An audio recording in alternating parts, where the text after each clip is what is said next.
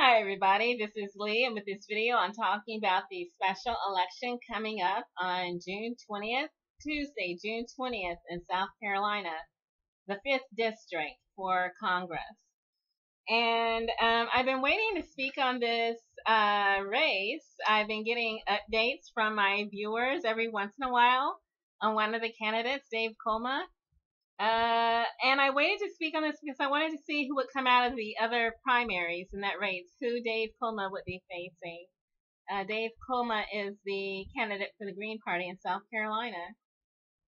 But anyway, um, the special election is being held because Mick Mulvaney, the previous can, uh, candidate or office holder, uh, was recently confirmed into the Trump administration for director of the Office of uh, budget and management. Uh, management and budget. and so that's Mick Mulvaney.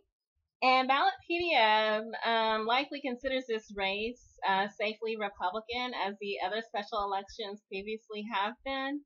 Um, but I suspect that there might be a, a closer margin um, in this race, and that we've noticed that pattern. I'm going to post a link to the Ballotpedia page for you to look through and consider uh, as the special election held in South Carolina makes its way through the calendar. And uh, so I waited for the primaries to end. There's one Republican who's a right wing type of Republican. And I've been making several videos challenging on what is considered a conservative versus a corporatist. Um, someone who is actually not exhibiting conservative values um, those um, created or inspired by Teddy Roosevelt, who was himself a conservationist and wanted to protect and conserve natural resources, and who was a trust buster who actually challenged large corporations in their treatment of workers. He felt that there needed to be a correct balance between worker rights and the corporations and that he was cautious about allowing too much uh, power to corporations, including monopolistic uh, power. And so that kind of conservative, um, we don't, you know, it's dicey when it comes to, you know, knowing the difference between what is conservative and then what is corporatist. Um, there's also a Democratic candidate in this race um, who we can safely say likely is a corporatist um, as opposed to a liberal.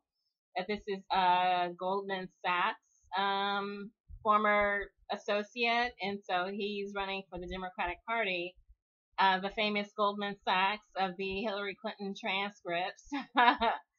and so we wonder about that mentality if it's corporatist too, and the difference between a liberal and a corporatist, and then also a conservative and a corporatist. So they're very different things.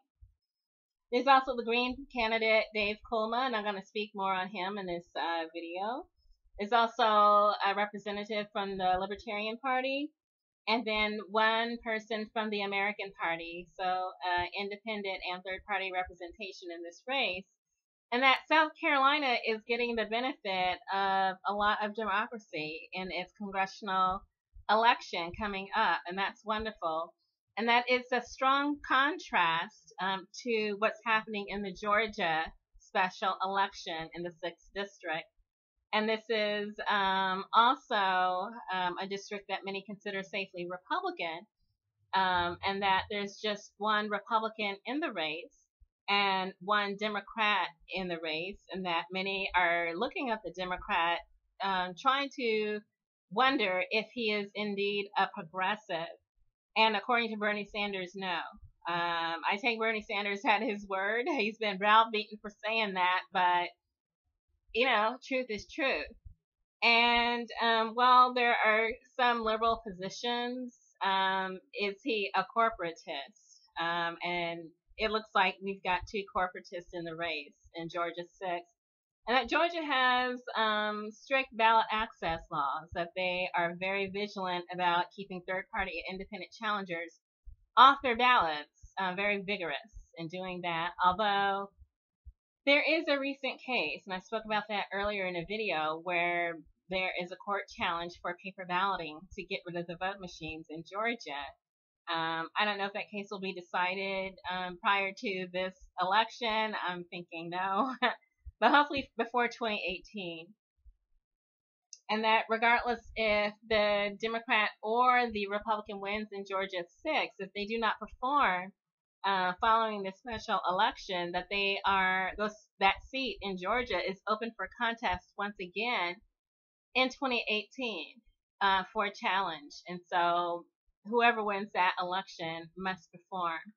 Uh, and so and so I'm going to return back to the South Carolina race where there's actually more democracy happening. It seems like more ballot access, more ability to have representation across a wide uh, variation of political ideas, and to get a full discussion of those ideas. Uh, South Carolina is very lucky in that regard.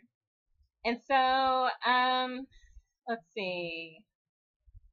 Oh, um, I talked about previous special elections and how um, even though there wasn't necessarily a win by a progressive in those races, um, that there was a shifting of the window of ideas to include populist um, agendas, populist policies, and that those who have been running in those races as a progressive, as a populist, have been articulating their ideas and that even though they haven't won their races in these special elections, they have succeeded in narrowing the gap.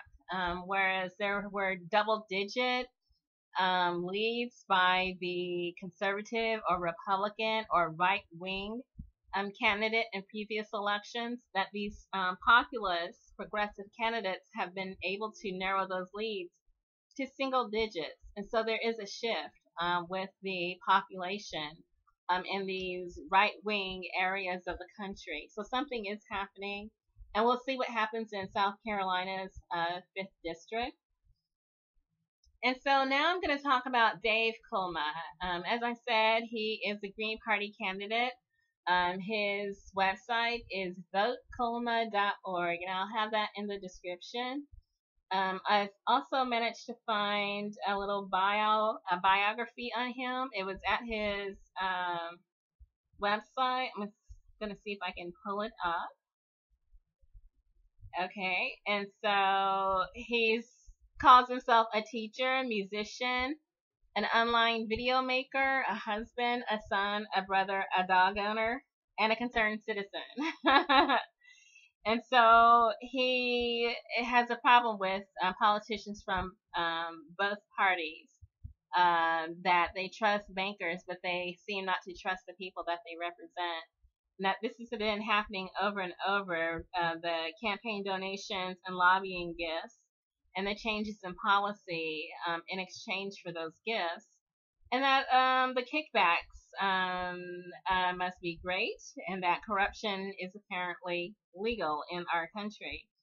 And so he says that it's time to uh, get involved, and that is why he is the Green candidate for the 2017 special election. Um, okay, and so now I'm going to talk about some of his positions. He's got strong positions on healthcare. He is for Medicare for All. Uh, public education, he's very supportive of that, the idea that public funding should only go to public schools. And that there's debates about that, that Dennis Kucinich is even questioning the constitutionality of uh, public funding, funding being taken away from public schools and then forced into private school education. Um, in my opinion, it's a type of segregation, a resegregation of our children um, the haves and have-nots, um, and a form of taking from the poor and giving to the rich. Um, and so that's his stance on that. Um, there's also a stance by Kulma on student debt forgiveness. He wants to extend the bankruptcy law protection to cover student loans. And so these are similar to Jill Stein's positions that she ran on in 2016. They're basically green positions.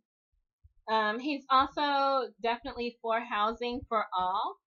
Uh, he wants to end housing segregation, and then he's also talked about tiny houses. And um, if you want to know what those are, they're kind of like small, compact houses that have been built. Um, if you've been to like Home Depot or uh, one of the big box stores, you can see them in the parking lot. They're like tiny shed-sized houses with all the regular amenities, um, but simplified and stripped down for low-income people. Um, also, he's um, talking about prison reform. Uh, he wants to end the exception clause to the 13th Amendment and close for-profit prisons. He says that no one should profit from caging people or locking people up. Um, Hillary Clinton. and that he also wants to end um, corporate personhood. Kulma has a long list of um, positions, policy positions that are progressive in nature definitely part of the Green Party platform as it applies in South Carolina, all the way from immigration, jobs, infrastructure, peace, national racial justice, social security, taxes, trans rights, women's rights, worker rights. Uh, and so those are what he's for. I'm going to run through some upcoming events that Dave Kulma has listed at his site. And I wanted to stress these because I, as I've said, it's really, it's really important for every progressive that's running down ballot to assist in shifting public conversation. The public range of acceptable ideas is very important, very crucial that this happens. And that um, um, multiple people, a multiple army of people talking to the communities using the platform, their microphone, their access to media, the access that they have for running for office to speak out very strongly and to stay on message and get to their point of view across um, and be able to explain their position, to defend their position, uh, why it's important and why it's actually the way it needs to be. Um, it's it's important for um, everyone running for office to be able to speak out and be a part of the movement to change the acceptable range of ideas. We've got this year, we've got next year, we've got all the way up until the 2020 election, and it looks like Dave Kulma wants to do that. He's hosting forums at his campaign office, and so they're rock. Uh, says he calls them Vote Kulma Rock Hill forums that they take place at his campaign office, which is 109 Hampton Street, Rock Hill, South Carolina. And so there have already been two forums that he's hosted for the public. One was on healthcare. He had a guest, Dr. Dave Keeley, and it was about Medicare for All. And hopefully, um, there's a videotape. If I can find one, I'll put it in the description uh, for people that missed it. Uh, he also recently had a, a housing forum um, where he spoke about tiny houses, and that was also his campaign um, headquarters. He's got two more forums coming up at his campaign headquarters. One is on education, where he's talking about the free public college and ending student debt. This is Saturday, June 17th at 3 o'clock p.m. And then he's got another forum, which is on prisons, and this is with Max Parkas, Tribal Rain, and Scotty Reed, um, providing the opportunity to learn about ending prison slavery. And this is Sunday, June 18th at 3 o'clock p.m. And so that information will also be in the description. Hopefully you can make it. Um, and I believe that's all that I've got on uh, Dave Kulma. Uh, I'm going to let people review this, um, go to his website. Um, also review the race in South Carolina, the 5th District, to learn the details of that race. And hopefully there will be a shift um, that, as we've noticed um, all around the nation in various um, districts, that there's a change coming, that people are starting to realize the difference between uh, corporatism and what they perceive to be either conservatism or liberalism, uh, progressivism, uh, things like that. so on both sides of the aisle, uh, maybe we can go half on a baby, meet in the middle for and throw uh, vote third party and or independent, uh, which I think is the place to be. Um, so um, the Green Party has had about a 34% win rate with the races that they've been running um, this year. uh, we'll see what the balance will be as we progress through the rest of the special elections and then on through November. And so I say good luck.